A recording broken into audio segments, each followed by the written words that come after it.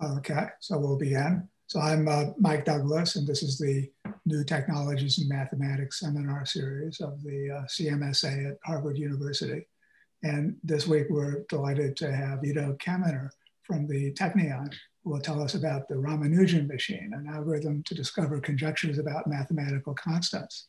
And uh, as I always do, I'll offer to uh, take your questions on the uh, chat and uh, I'll ask them appropriate times. And of course, there'll be a, a chance for uh, questions and uh, discussion after the talk. So, you know, please begin. So, hey everyone, uh, thanks for the invitation. And I'm really glad for the chance to, to present it and uh, looking for uh, interesting questions and discussions. this is my, my background. I'm a, a professor at the Technion in electrical engineering and physics the areas I work on are typically quantum physics, uh, sources, sources of radiation, light, light emission uh, concepts, also electron microscopy, uh, topics that are on an average day farther away from, uh, from what I'll discuss today. Um, but this project started as a fascination, as a point of, uh, of interest that we were discussing with friends for, for a couple of years. Um, and somehow evolved through a collaboration with basically everyone volunteers, uh, people that were interested in trying to trying this approach, trying to develop algorithms to do what we what I'll show you. Um, also with with students, and, uh, I, I, have the authors that are all together on our paper that came out. In, a, in a, uh, so just to mention the, the names, so Gal, um, Shachar, uh, Yahel, George, uh, Yoav, and Doron are were all undergraduate students, uh, different points in different uh, departments, working on on this as a undergraduate projects. Um, and uh, Uri and uh, Yaron are actually uh, friends that working in the industry. Um, Uri is uh, worked in Google at the time where we were doing this. Yaron uh, from the startup Nutrino and exit there, and now in Medtronics. Um, there came with expertise in um, in machine learning and a background in AI. And what we were trying to do together is develop a, a new approach for um, playing with the data that is provided to us by mathematics. We have so much data. If we look at those fundamental constants, I wrote some of them on, this, on the screen here, um, and asking whether we can use algorithms to try and find rules, some internal structure in those numbers.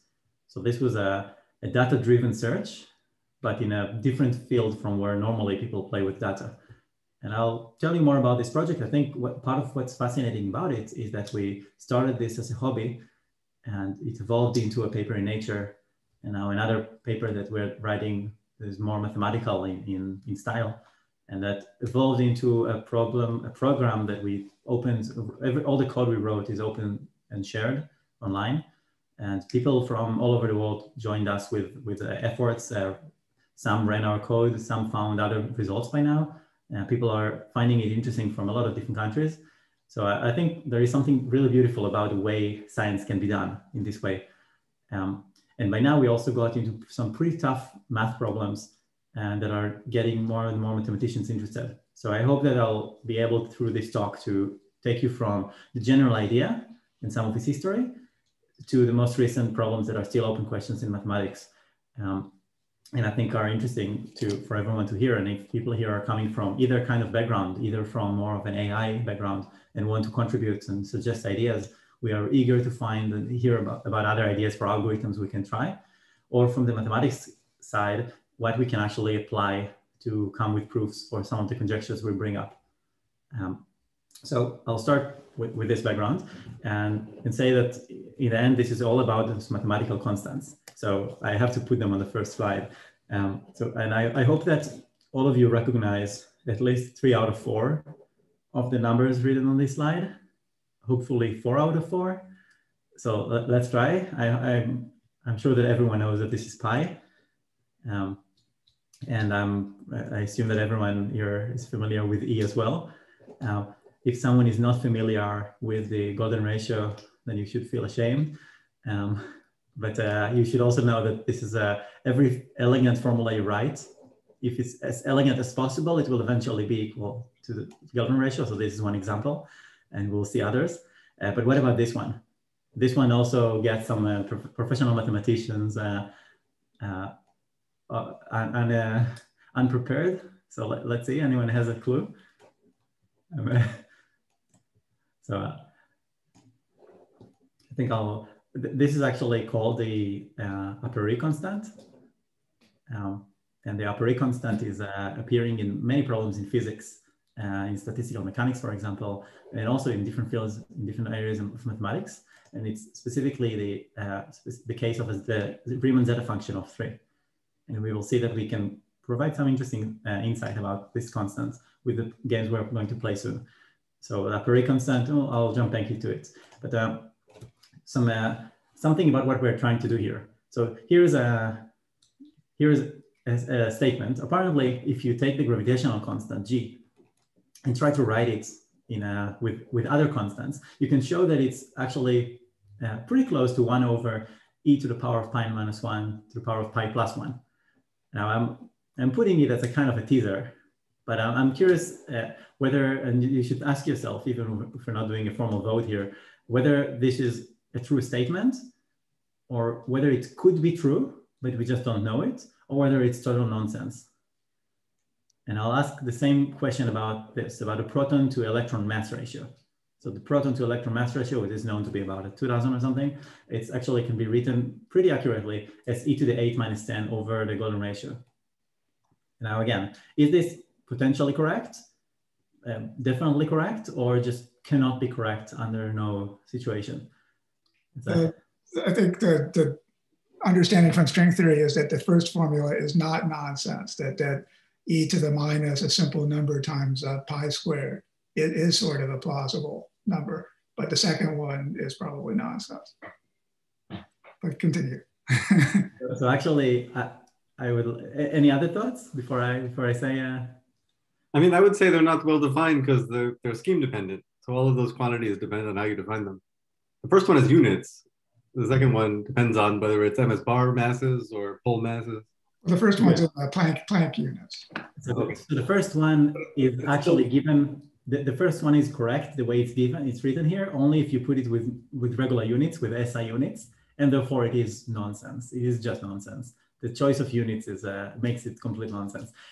Um, and so good point. The units are making this complete nonsense. Uh, but the second one, that's an interesting question. So it's just given as a mathematical similarity here. Actually, you can show that to what accuracy.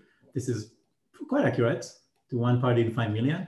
Um, so it might actually be correct. It's a question of how well do we measure the proton and electron masses. But again, it's not well defined from a, a high energy theory point of view because yeah, yeah, that second that second one is much more problematic. I mean, the first the first one again in Planck units that that kind of makes would be maybe, but uh, yeah. actually th then they they so what you can actually show is that the second one, of course, if you depend, you ask what energy scale you are playing with, then there will be no actual single mass for those particles. But if you look, look at the low energy limit, you can find a limit for those values. Those are the ones that atomic physicists will, will be working on and measuring to many digits of accuracy. And then in principle, it could be correct. Of course, this one is just, I mean, made up. So the chance of it being true is, is nothing. Um, but where this, is this coming from? Actually, it's coming from a, a joke from a comics online from XKCD. If anyone, if someone here is not familiar with XKCD, then then uh, you already learned something important in this talk, and you can already live and feel satisfied. Um, and you should definitely check it out. But the general idea of checking whether fundamental constants can be given by some value or some finding relations between them, this is out there for, for a very long time. And in most cases, it is numero numerology and is just nonsense.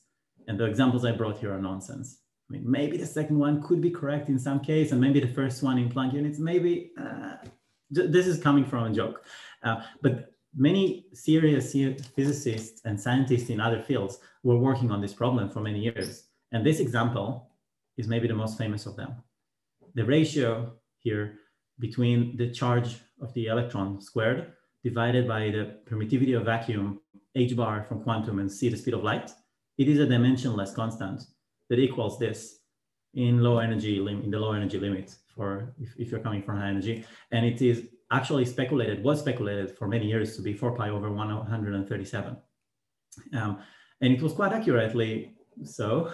Uh, people actually try to prove it. There are serious papers about this and trying to explain why this is true. Actually, once we learned to measure more, we saw this is not correct.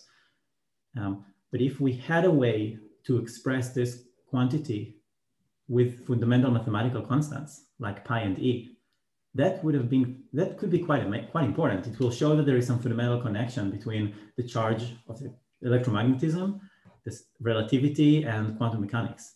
So different theories of physics provide this number, which we don't know where it's coming from. If it can be expressed with mathematical constants, it will tell us about some hidden rule, some hidden law.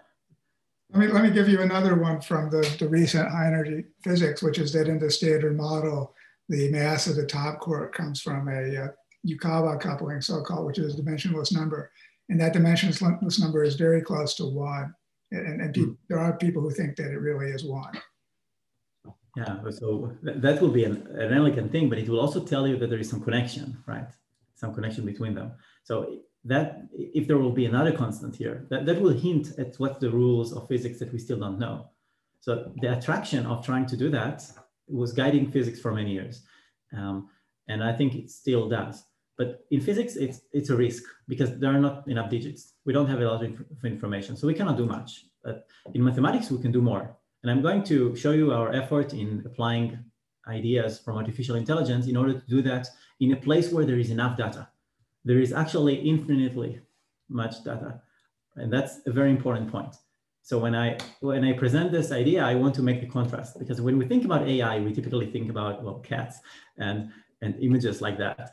Um, so a, a, bit back in into the history of AI, not very old history, as you know, classification became a very important role model for like what is the quality of AI. Uh, I took this slide from Yaron actually, um, but I think it gives us an interesting contrast to what we want to do here. This is a, a quite amazing to see how well computers were doing in trying to identify objects in, in images and classify images specifically. Um, in around 2011, just 10 years ago, it was, they were able to, to do their job well in about 25 error, 25% errors. And over the year, last couple of years, with the invention of machine learning techniques, uh, that became significantly better until around 2015, they actually did better than, than people, than PhD students that were tested as, as a, how, how well people can do. In 2020, the, the value was already 1.3%, so way better than what people can do. And that shows a very interesting point about what uh, we can expect from AI in tasks of this type. Um, that AI can actually do much better than this, not just uh, identify and, and, classify, but also caption. So identify different elements in the picture, right? What is the cat doing? What is it on? Other things like that. And that is by now a very well-known achievement of the revolution that happened over the last 10 years.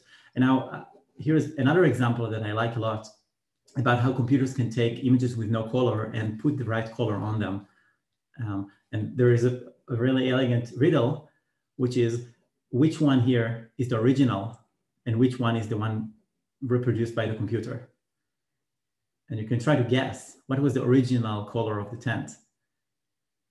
And, and I think that if you look back at this 100 years from now, with those tents being long gone, but these images still being online, there would be no way to really tell what was reality and what was fake. So the, the ground truth is sometimes just a matter of coincidence. But either of those could have been the real, real true ground truth.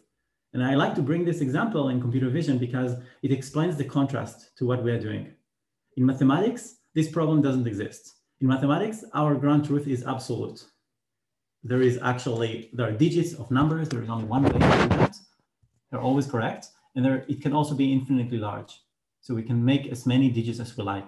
And that's something that makes our efforts different in some fundamental way than other efforts in AI that are using a lot of data.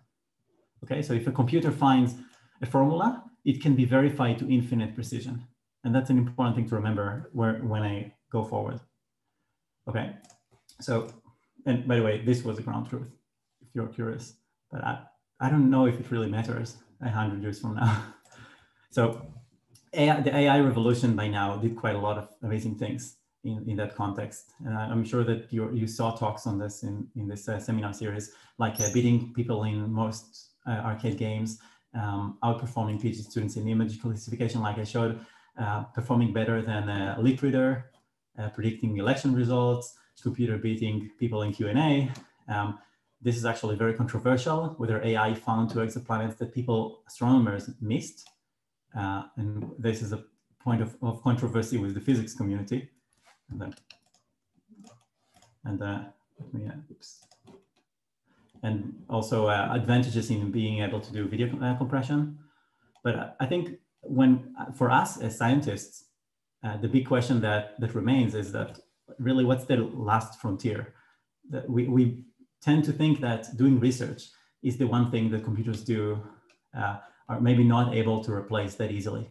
And that's, that's the reason why we are curious the most about trying to use computer algorithms to try to make scientific discoveries, ask whether we can develop them as tools that will one day replace us. And there are quite interesting uh, polls on this, asking scientists, how many years from now do you think computers will be able to write the papers you write today? The average answer in, in most fields is something like 40 to 50 uh, in, in semi-informal polls I saw. So people do not say infinity. And if that's really the case, and that could be within our lifetime, uh, then maybe that means we need to be part of this effort, part of this revolution. So now, well, I do not claim to answer this question today, but uh, I think it is a worthy pursuit.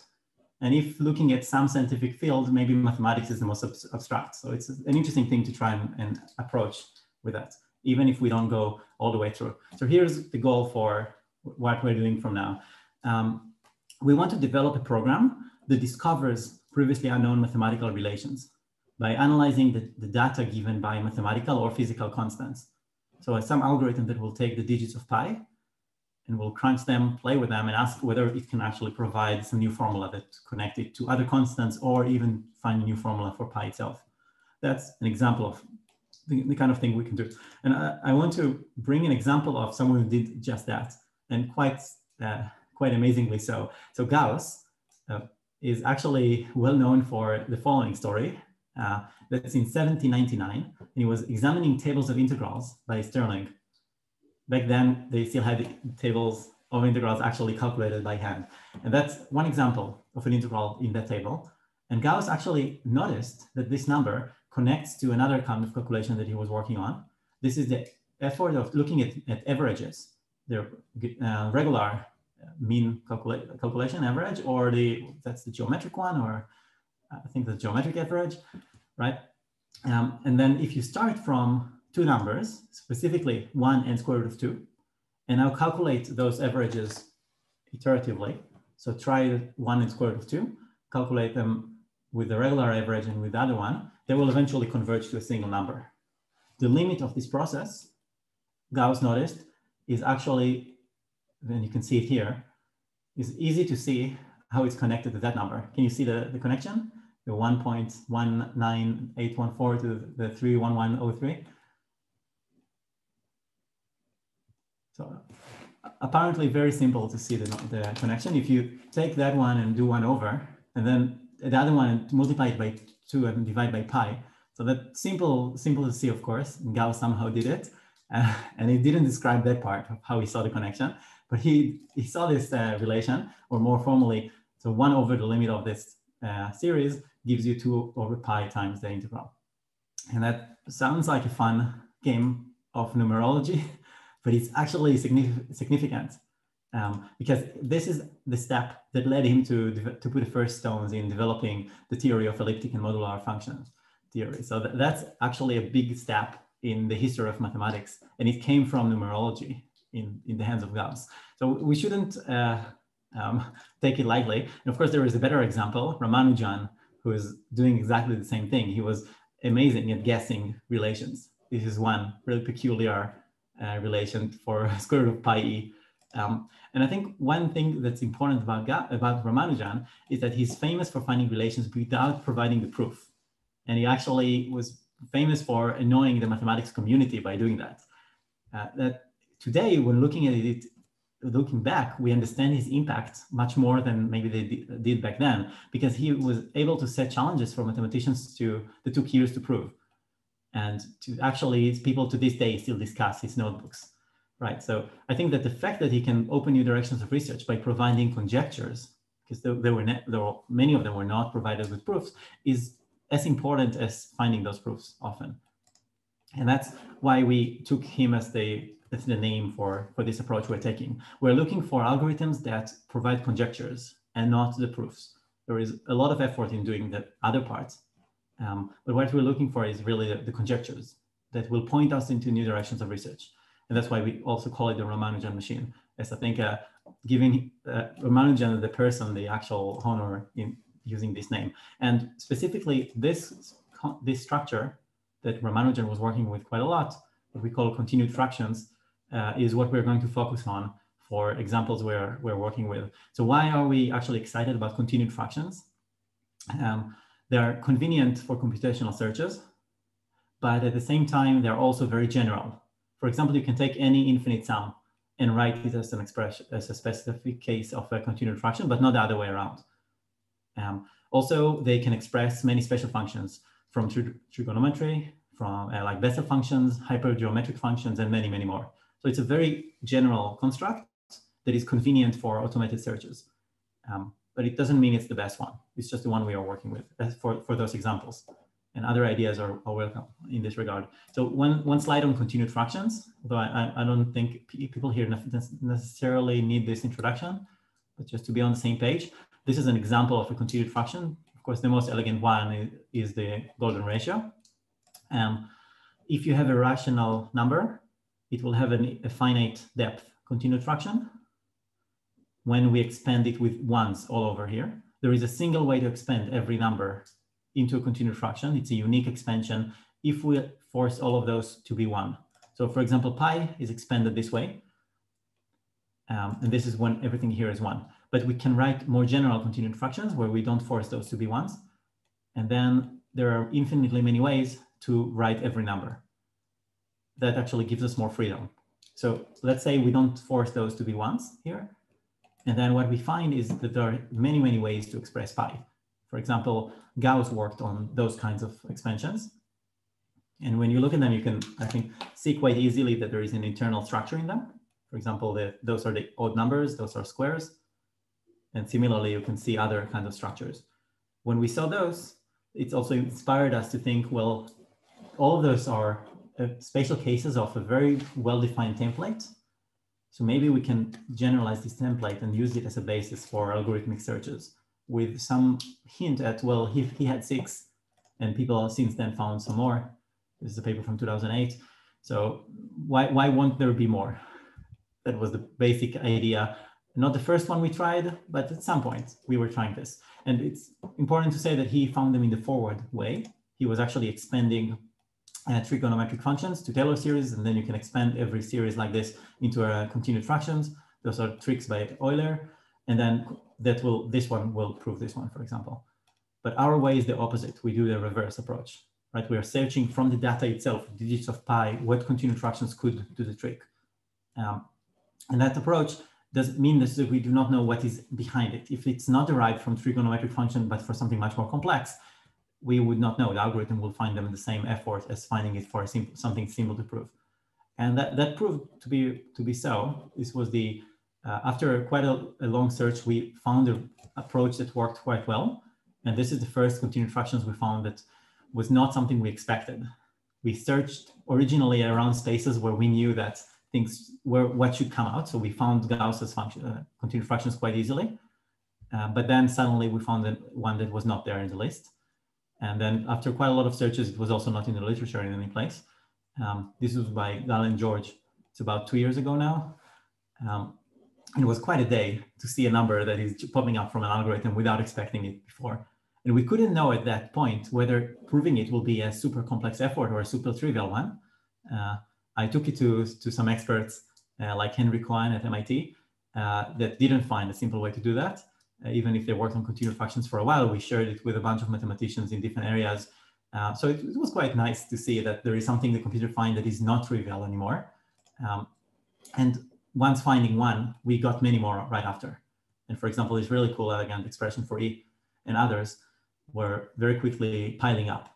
Um, And I think the, the point to remember, if, if I didn't make it clear yet, is that algorithms discover new conjectures about fundamental constants and not um, not showing us actually how to prove them. So the algorithm doesn't know whether it's easy to prove or how to prove. And that's a very important point, right? It's a, it, in some cases could be quite complex. It's not connected to how they are connected. And just to give the, the feeling, it's super easy once you have a computer algorithm set to do that, to start finding more and more expressions. Um, and that's just for the feeling of it, it flooded us very quickly with more and more results. Um, and what we did then is build a website and put it online uh, to offer it to the community as a way to, okay, how do we prove them? And, and over the few weeks after putting it online, both us internally and also with help by others, we managed to prove everything we had um, by using uh, generalized hypergeometric functions and other things. And that showed us that there is quite a, it's quite amazing because the algorithm doesn't know whether it's hard to prove or not. Still, we were a little bit disappointed. We wanted something that is deeper in the sense of being hard to prove, because in mathematics that matters. Um, and so we went, we went on, and over the couple of months after putting it online, we also started discovering expressions that are very hard to prove. So here is a set of examples that are all by now still unproven. For the last one, we have a good direction by now, and the other ones are still open. we don't know. There may be a one-line way to do that. Um, but so we're now after public a publication in Nature and uh, appearing on TV in a bunch of places, there are more mathematicians that tried, which means it's getting more likely to be very hard. Still doesn't mean anything. So there are now expressions for pi square, which are apparently way harder than proving things for pi. Uh, expressions for the Apéry constant, which we have a few. Those are the first ones for the Apéry constant uh, uh, discovered outside of the original Apéry paper, uh, to the best of my knowledge.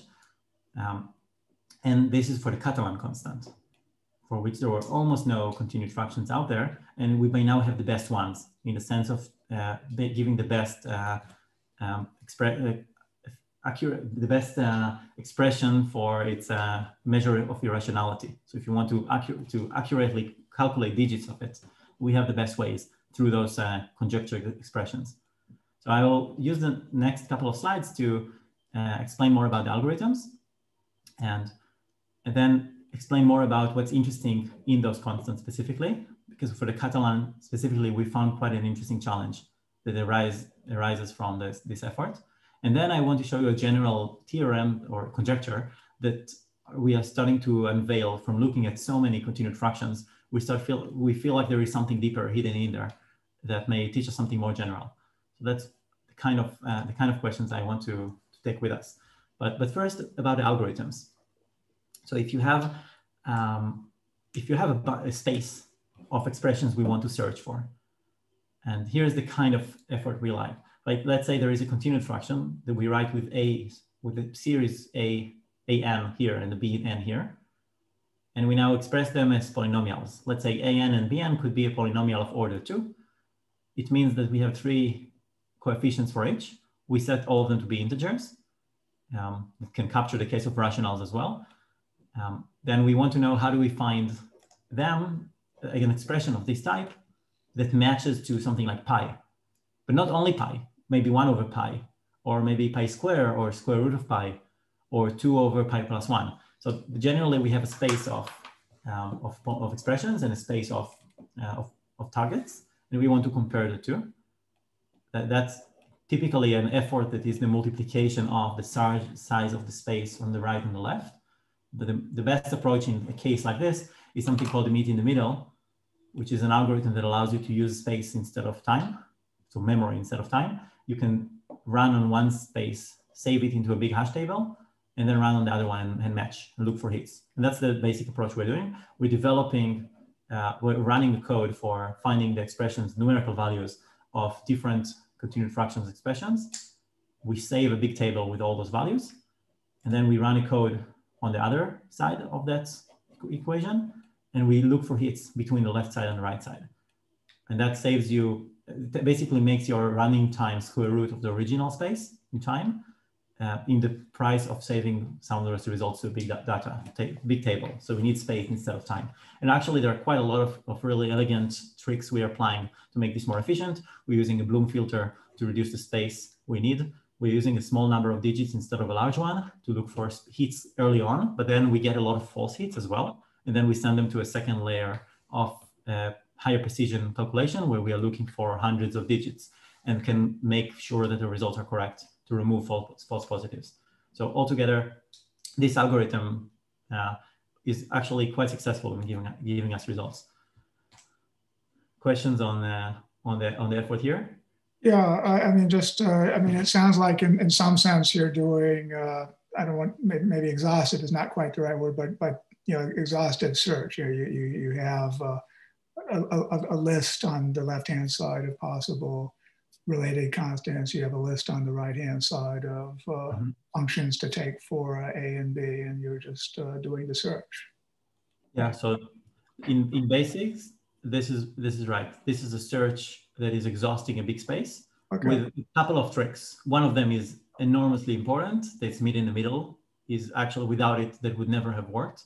The other ones are elegant in making our approach much more efficient and there are really nice uh, ideas there, but it's in, in essence, it's enumeration, an exhaustive enumeration running over the space. And that, to be fair, you, you would like for something more like, let's say, gradient descent. Right? No, it's, it's a perfectly valid approach. But, but by meet in the middle, you just mean establishing the equality to greater greater precision, or what, what, did you mean by that? The meet in the middle is the name of the algorithm where you have a, a big space with two big lists. Okay. Instead of doing an n square if this is a space of n and n, you actually need only O of n of one list. Yeah, yeah okay. That's the name of the algorithm that applies in that case. Um, and that approach is, uh, is powerful when it works quite well, but it's not the only one we tried. Um, this is, by the way, an, a strategy developed, suggested by Uri, Uri Mendlovic. Um, the other approach we tried, and this is something we did a couple of versions of that, uh, but Yahel's was the one that eventually worked out, uh, is more of a of a type of something you would call machine learning. Um, and this is a gradient descent approach. So imagine that we have a formula, let's say um, a formula with a couple of parameters. This is a, a, a, very simple case where we assume that the Bn series is just a squares, but the An series is having some X and Y coefficients to it, right? And you want to say, well, this formula is, is a function. We want it to be equal pi or one over pi or something like that. So let's subtract them and write a, a loss function that is the distance between the two. And then we can calculate the derivative on x and y and start doing a gradient search inside the space defined by this loss function. That approach sounds straightforward. The actual implementation is way more complicated. For one, it's because this expression depends on x and on y infinitely many times. So the derivatives are have to be done recursively that's not impossible. Actually, this is exactly what people do in recurrent neural networks, um, in der der derivatives that are themselves recurrent. Um, and doing it here is actually quite successful in giving us a loss function. The other issue that is, is that it's very easy to find results. The hard thing is to find x and y's that are not, uh, that are interesting. Let's say integers, x and y's. So we have to force ourselves to find results that are integer or interesting results in some way um, to go into a space that is more like Aleph Ephes, Aleph not, instead of Aleph, like not of the space of real numbers, but more like integers. And that is requiring us to do something that we call, uh, we call it a, a, gradient descent that is in, with tricks like repulsion. Um, so we, we go through this uh, gradient, we go into the white lines here are the smallest, the lowest points in the gradient. So you see the valleys that we approach into. So we, the points fall into those valleys, and then we need to force them to catch integer values. And for this, we cause them to repel one another. We put for something that looks like a Coulomb force, Coulomb repulsion between them. And that makes us actually hit into interesting results. The advantage here is that it can go over a much bigger space than the other approach. But there are a lot of issues about heuristically choosing parameters, like in a lot of the machine learning approaches, uh, which is not as fun. Um, and we don't know yet whether this approach is as strong as the other one. So far, most of the results we found were from the other approach. And we by now have better ones that we thought about beyond the paper. Um, but those are the main two that proved very important for what we published. Okay, so any questions on this or by the way, ideas for doing better, uh, please let me know. I'll show you one more algorithm that I think is significantly stronger than those. Um, and we just implemented recently and didn't run exhaustively yet. Um, but, uh, but before I do, I want to uh, explain a bit about where I think is more interesting to take it next. Because when we think about fundamental constants, we have pi and e in our mind, but actually the fields of mathematics and physics where fundamental constants appear are much more varied than you would imagine. Uh, fundamental constants are in so many fields. This is just examples of famous ones for whoever works in different fields. Um, number theory is just one example, like twin prime constant. Uh, and there are other ones that are popping out everywhere. Um, I like the ones from chaos theory the most. If you heard about the Feigenbaum constant, there are actually two Feigenbaum constants. That's something that for me is fascinating. It's because they are universal. There are so many problems in physics where they appear. Like when we see fractals, um, you can actually show that there are two, two specific constants are behind every fractal we ever plot. Um, they are universal in a lot of areas of, of science. There are problems in fluid flow, turbulence, electronic oscillators, chemical reactions, uh, even in biology, uh, where you find the same Feigenbaum constant appearing. You can show that every nonlinear equation you take will have them appearing. This is a super universal thing, and people don't completely understand why. There are open questions related to that. So imagine we find a formula for the Feigenbaum constant that connects it to some other constant, or even just write a closed form expression, an infinite series or a continued fraction for it. That would suddenly say that there is some universal law behind it that is not yet known. And it will help divert research into directions to try and prove why this is universal and maybe explain how, how it happens. So that's ex one example. And actually there are books filled with constants. There are thousands of them also online, calculated to many digits. It's very easy to find. There are a gazillion options for how we can apply this. And wherever it hits something, it will open a new lead for research. And that's why, it's so, that's why it is so fascinating. So um, with this more introductory parts done and explaining what, what we did, I want to uh, take the, the second half of the talk to explain more on, uh, on what are still open questions that come from what we were doing. Um, and one is uh, an application of this, proving the rationality of mathematical constants. Uh, another is uh, looking for a hidden structure uh, that we see seems to appear in every infinite sum or continued fraction that writes any fundamental constant we've read into so far, and then looking into some ideas for generalizations. Um, and later on, I will say a few words about looking for other algorithms and other ways by which people that are curious can also can also join and help. Um, so first about proving irrationality. If we uh, want to prove a constant, let's call it z, is irrational, the formal way of, of doing this one, one way is to write a sequence, uh, p n over qn, of those are integers or a sequence of rational numbers, converge to this number, and looking for a sequence that does it as quickly as possible in the most efficient way possible. Efficient means we don't use denominators that are too big, numerators, denominators that are too big. So it's actually smaller than the denominator to some power. And if that power delta is uh, larger than zero, then it proves that this value is irrational. Sorry, not L but Z. Okay, um, so what's the most efficient way to do that is always to expand the regular continued fraction. To take pi, expand this continued fraction, write a sequence from it, and that will give you the best way to approximate it. The problem is that we do not know what is the next number when doing that. This, this sequence is completely unknown. There is no internal rule for it. So we do not know to predict how the sequence will continue. And therefore, this is uh, numerically the most efficient way, but it doesn't prove anything. On the other way, on the other side, if we take our continued fractions, the one we know are already structured in a predictable way, we will get a specific delta value for each one. And that's what makes it interesting. Each continued fraction like this could, in principle, provide a delta value. Um, and why is that? Just to make sure the connection is clear.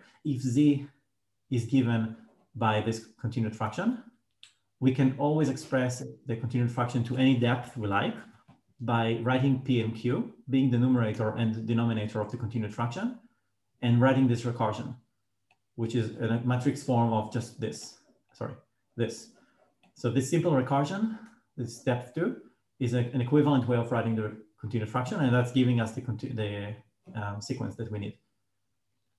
Okay, and that's a nice way to do that. This is actually uh, applicable for, for example, the Catalan constant. The Catalan constant is a pretty old constant that appears in many problems in physics and mathematics. And it's still an open unsolved problem, whether it's rational or irrational. Um, the best known delta for it is still negative, so no one knows how to prove it. The previous results were by Zudilin and more recently by Nesterenko. Nesterenko get, got this value. Um, and we actually found new continued fractions for Catalan. Here's one example of the very elegant expression, I think. Um, we got a bunch more uh, and eventually learned that there is an infinite family of them. From uh, about 20 we found by algorithms, we managed to generalize it to an infinite family of fractions, which we could use to sort out and play inside a family, looking for the most, most efficient one. And actually by, by doing this, this is just an example of results we got from the algorithm.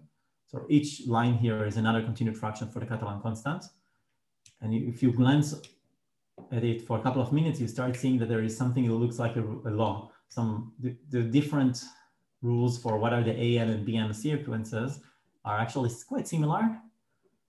Right? They seem, seem to have some internal structure in them. So that led us to understand how to generalize to an infinite family of, uh, of constants. None of this, by the way, is proven, but we think for this specific, those cases, we think we have a way um, for how to use this infinite family to prove all of them.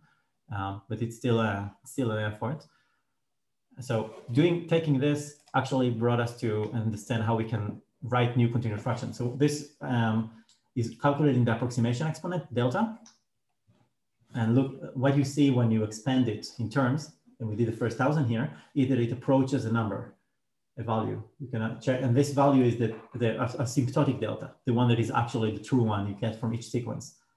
So each uh, sequence here is one coming from a different paper including the Zudilin and, and also the straight line here is the world record right now. And what we found is a couple of examples. Those are all constants that appear in the paper we, uh, we gave. And uh, one of them is actually breaking the record. Um, and we already found a few more, but the best one right now has a delta that is a little bit better than the world record, right? And that's just a, a nice example that an algorithm can already break the record. If we do a bit better than that, we will eventually get to a point where we prove irrationality.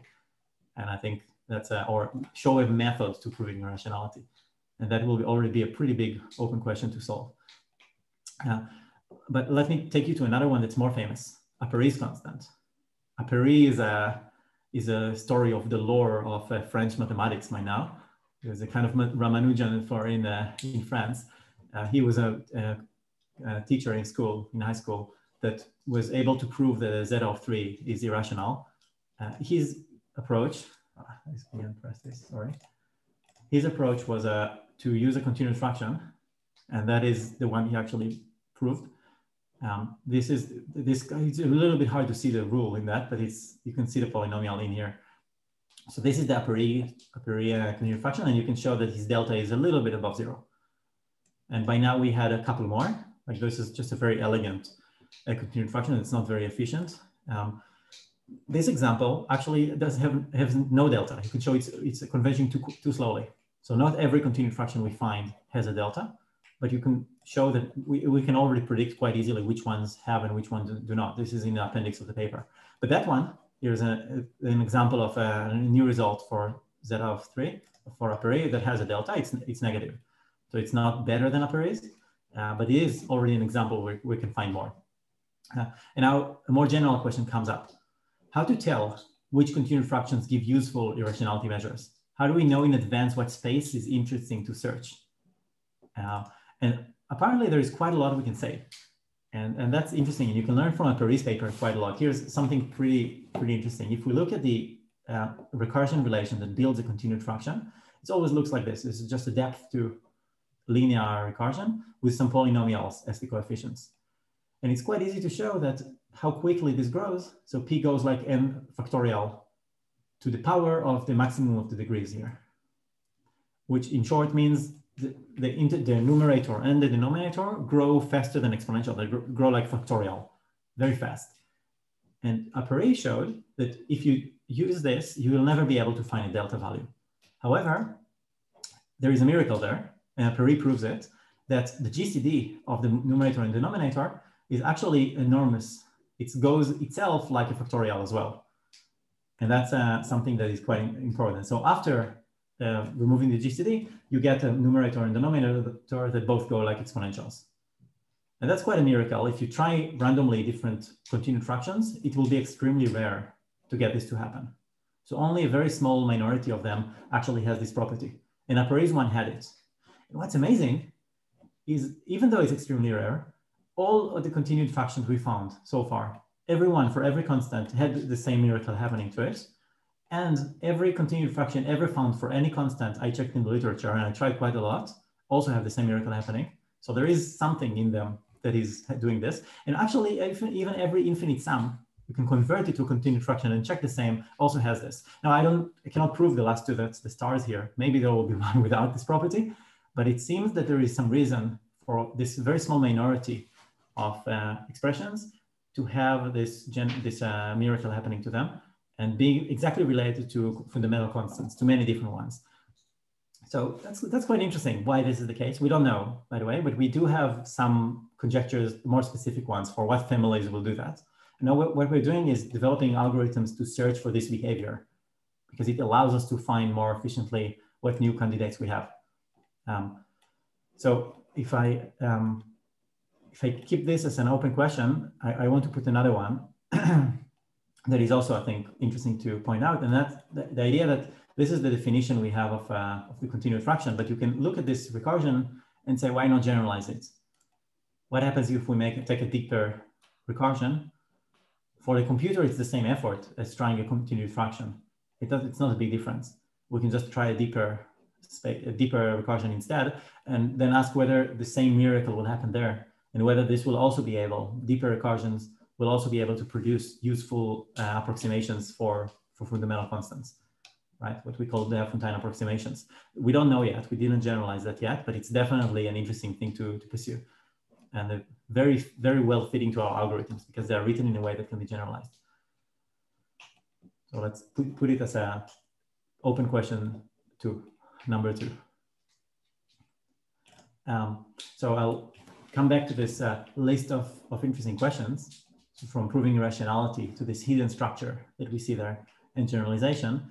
Uh, what uh, I want to put as the last couple of minutes uh, of my talk is to talk about algorithms because we're thinking about other algorithms that we can apply. Um, and I think the most interesting question in the end is something like a question about entropy. When looking about a, a sequence of numbers, let's say digits, or it could be in another representation as well, um, how do we tell how much entropy is hiding in this. If you just look at the digits of pi, it looks like it's random, but of course it's not, right? There is zero entropy in that. So how do you actually tell by looking at the list of numbers? Uh, that's really the deep question behind all of this. Um, so here's what we think about as the strategy to approach this general problem with. If we think about how how would you apply this challenge if starting today and not three years ago?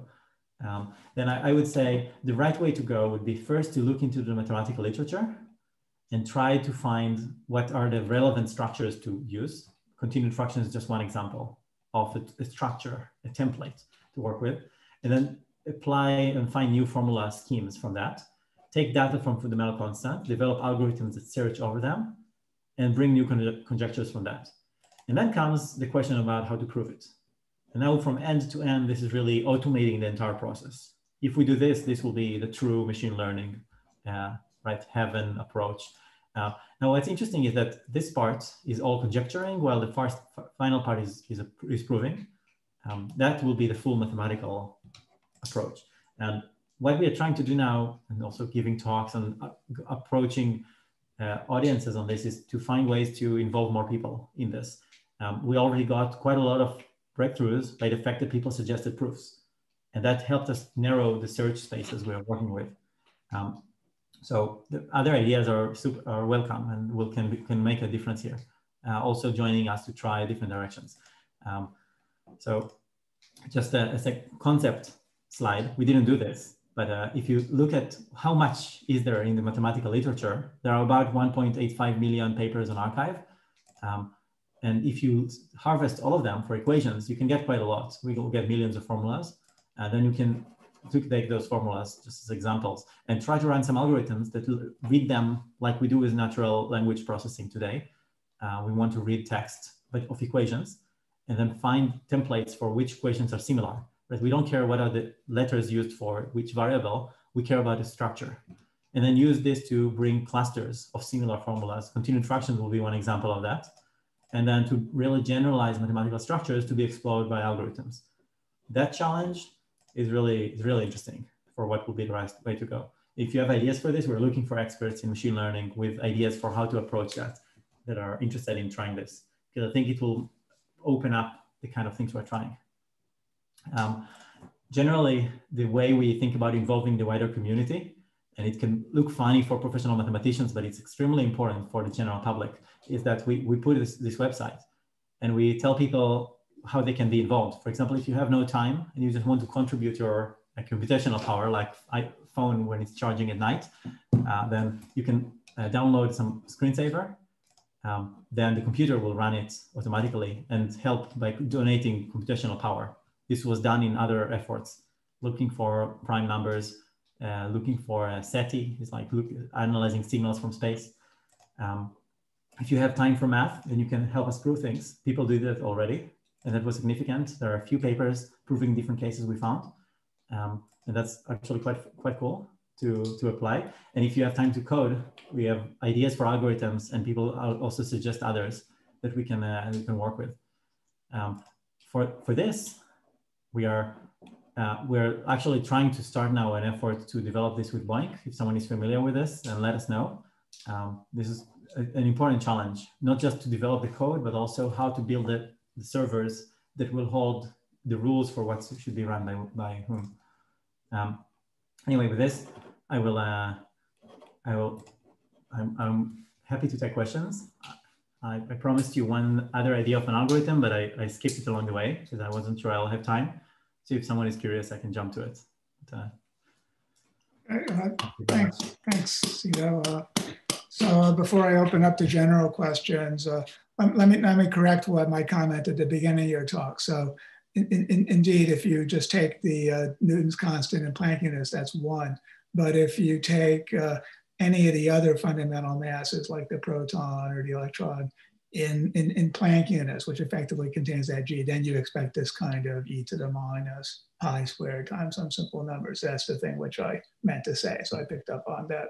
And then it could be that, that coincidence in your first slide. But let, yeah. let me uh, let me uh, also ask because uh, for many, uh, is there no result yet that says for a particular class of these, let's take, uh, you know, continued fractions with quadratic uh, an and bn, is there no statement that this lives in some general class of numbers? So like the periodic case, of course, is a quadratic irrationality. And there are other known classes of numbers that don't include all the real numbers, like uh, periods of integrals and so forth. So is there, are there results of that type? Um, let, let me see if I understood your, your question. You're asking about the, the space we cover with? Yeah, yeah. So we just take everything we can make by, say, continued fractions with quadratic uh, polynomial a and then b, and then there's some vast set of numbers. And often, in, with such generality, there is some simple statement you can make about the whole set. It's not yeah. all real numbers, but it's something. Yeah, it has to be smaller than the real numbers, of course. Yeah. So, uh, so here is one thing we notice. If you search for uh, for pi, formulas for pi, you will often find them with your polynomials being of order one for a and two for b. If you search for pi square, you'll always find it to be order two for a and four for b. And you look for zeta of three, which is sort of pi to the three. Um, you will find it for a of order three and b of order six. If you try yeah. z of four, which is pi to the four, you'll see four and eight. I mean, we recently started working on Z05, which is an open question of whether it's irrational. Right, right. Yeah, yeah. There's a, there's a theory of like, uh, this, this theory of periods possibly has a connection where there are like these degrees of transcendentality, exactly of like the zeta constants and so forth. So that's something that you, there might be a rephrasing or a connection. So uh, it could be, and if there is some connection you see, or if you know people that are working on this, it will be really interesting for us to, to discuss with them. So because we see those results being from that order, and you can, there are a few cases you can prove for like a, a continued fraction that applies for every zeta. Um, and then you actually see this order appear naturally. Um, but it doesn't mean why, it doesn't mean we understand the full picture of why is it, why is the computer only giving us result of that order? So there is definitely a rule that relates to that. Um, other questions out there? Um, can I ask a question? Please. Um, uh, can you maybe give some more details about this Coulombic repulsion thing? I didn't quite follow how you find integers. It seems that if you have real numbers, there's an infinite number of solutions, but to somehow getting from that your second method of finding these conjectures, yeah. Can you maybe give some more details about how you get it to be um, integers? Yeah, this this one. Right. Thank you. So, so first the the, the first thing to to note is that you uh, if you write an, a simple algorithm with no re, no repulsion, just a regular gradient descent. Okay, and you let's say take this expression with x and y being the coefficients and try to force it to be pi. And now we subtract them and modulus, modulus square it, or just square it. Um, and then uh, try to calculate derivatives and ask what is, what is the evolution of that going to be. You will rather quickly get to a result, to a, a local minima that is also the global minima. And you will find a, loss of zero, which means you will find a real result, which sounds amazing. What, what's the catch? right? That, that's important to understand the catch in trying to, to name things before I can explain why the, the repulsion is important. It's, it's very easy to find uh, x and y that satisfy an equation with pi because there are more equations here, more degrees of freedom than equations. In essence, there is just one equation for pi and two degrees of freedom. So you expect to see a one-dimensional family of solutions. Right? And that's the reason why you see those li white lines here. Those white lines are global minima. All every point along those white line is actually a solution for the problem. Um, so why, why not just stop there? It, it's because the values you find for x and y are themselves rational numbers, irrational, uh, uh, real numbers, uh, or irrational potentially, that are as dirty as pi. So in some way, you didn't simplify anything. You didn't find an elegant expression for pi. You just found other values that are holding the same complexity as pi. What you want to find is an expression for x and y, which you don't have to continue the approximation forever to find infinitely many digits of x and y to express with them what is pi. You want to find, okay, x is 17 and y is minus 42. That will be nice. Then you know that you actually have the precise formula that you can expand forever. So you need to somehow reduce the space you're working at for numbers that you can stop the search to get an accurate result. Now, if you force them to be integers only, then suddenly it's extremely rare to find results, right? So suddenly you look for a point along those white lines that intersects both the X grid and the Y grid at the same time. Then suddenly it's very hard to find them. And to be able to do that, we want some algorithms that is forcing integer results and still getting a global minimum. We want the absolute zero. It doesn't help us like in regular machine learning to just stop at a nice, pretty good local minima. Because here, we, if the loss is not zero, we didn't find a result for pi. So that, that's the trick. We need to somehow span over a large grid uh, while uh, still getting enough results.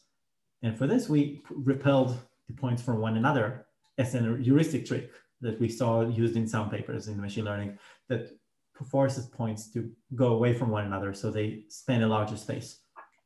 And what's the actual method for doing this? Uh, well, there, there, are many ways to repel, but we chose something that makes a few steps that are like with the same as you do with gradient descent, but just goes in a direction that is pushing them away from one another. And you, I can show you in the, like a, uh, the formula that we actually use, but we didn't see this being very sensitive to which formula we use. Whatever repels them is doing pretty well. Is it helping in a uh, yeah, like more information. I'm still not. Uh, the, these bright curves are the global solutions, and and if those are solutions, how do you repel them? If they're repelled, they're no longer solutions. I mean, it seems like those are some trajectories through this space and you want to find intersections with the lattice, but most of them won't intersect the lattice at all.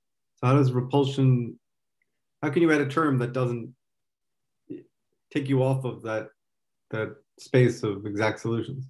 So, so you, you do it iteratively. So like, let, us uh, here's what, what happens here. The initial points are just somewhere. We chose them on a line here. It looks like a line, but it's actually, actually many points. Then we let them evolve. So they fall into different locations along those curves. This is what you see here.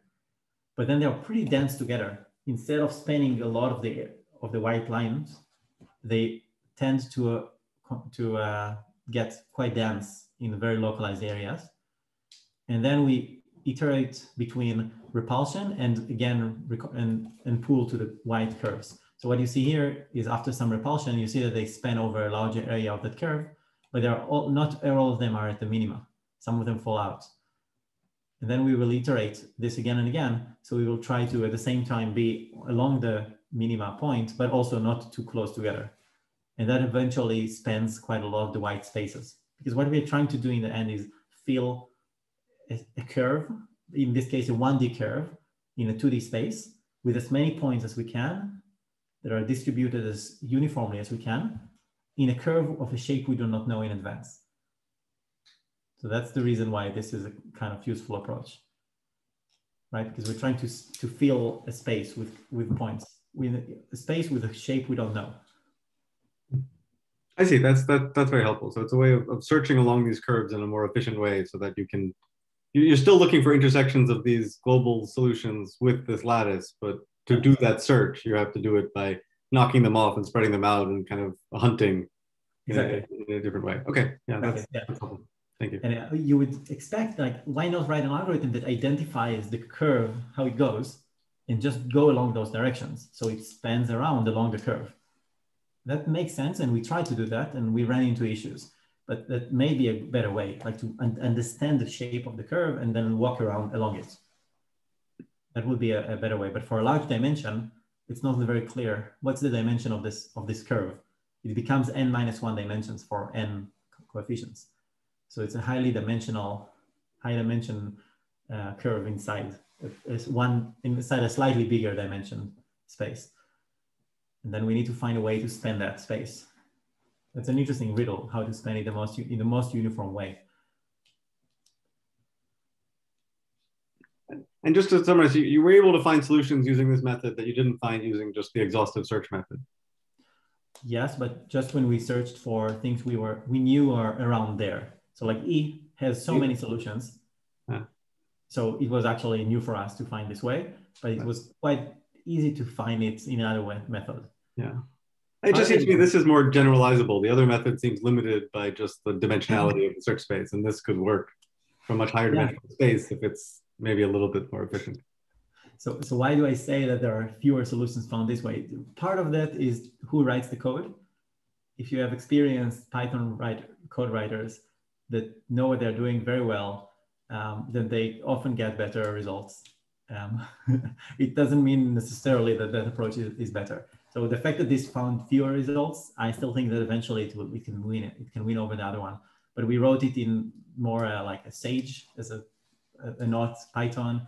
It was not as easy to put it online. That was, you know, the kind of, the person that writes the code matters matters. In this case, Yael she's an undergrad, but she was actually 16, 15 at the point she started the project. Uh, so you, know, you have pretty talented mathematicians sometimes. She also found the generalizations of Catalan and the best uh, approximation exponent, uh, the record one. But in writing the code, she didn't have a lot of experience. So that, sometimes that matters more than the actual approach and algorithm. it's a, uh, more questions? Well, uh, can, can I? Oh, please. Yes. Can, can I can I ask a question? I, I sorry I couldn't find the button to raise my hand, but uh, so if if there is a bit of time, so I just just wondered about. Uh, so all these formulas look kind of like very traditional in the sense that you uh, using polynomials of natural numbers or integer numbers in the in the uh, continued fractions. So I just wondered if whenever I try to search for formulas that use like sequences of irrational numbers that are, uh, for example, your formula here on this page is like it could de define, for example, uh, uh, sequences of uh, irrational numbers, and then you could put them again into continued fractions. Mm-hmm. so I just wondered that, I mean, this is very untraditional in mathematics. I mean, I don't see that anybody uh, does that or did that ever. So I just wonder that, for example, your approach would uh, could explore like this more uh, less traditional version of uh, continued fractions, for example. Actually, uh, yeah, I, it's interesting. I, I do not have a, a, good reason to say whether this should be better or not, right? It's a perfectly legit approach. When I said integers here, it's mm -hmm. not necessarily the best way. If you put multi integer multiples of pi's, mm -hmm. or even squares of pi to different powers, that will be as as, as beautiful as any integer potentially. Whether yeah. it's more likely or not, well, I'm very careful about guessing. We just got an email yesterday from someone claiming that he found with our code a formula for e to the power of pi. Mm-hmm. Uh, and I have no, I never had any reason to look for anything like this. I don't know, if, know yet whether it's right, real or, or right. We need to check that. But it doesn't feel like, you know, e to the i pi, I understand. But e to the pi, that sounds dirty, right? I wouldn't try it. Someone tried it and claims to find a result. So we never know. you, can, check it. This is math. You have infinite precision in principle. Uh, yeah. a, a, a, related question is that the, the, the standard uh, continued fractions get turned into dynamical systems involving two by two matrices. And of course, you could consider a three by three or an n by n yeah. matrix. Right. That should be the analog of taking a deeper recursion. And um, that, that I think is, is very likely to, to give exp interesting expressions as well. So, so yeah, definitely. And what, what's a structured way to try it? I, I, I would like to have one example of a formula that is described this way. So we can write a code and get that one. It's kind of sanity check and then search for more around it. Normally that's a, it's a good omen, let's say. okay, well, let's, let's thank uh, Ido for a very uh, entertaining and interesting talk. And uh, so uh, we have a no talk uh, this coming week, and, and then on the 24th, uh, we'll have Steven Skiena from Stony Brook to talk about the, the graph embeddings in theory and practice. So I look forward to seeing you all then. Thank you. Thanks. Thanks, everyone.